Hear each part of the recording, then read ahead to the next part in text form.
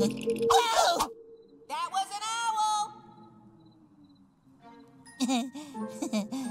Hmm. Now, if you'll excuse us, we'll be on our way home. Uh, huh?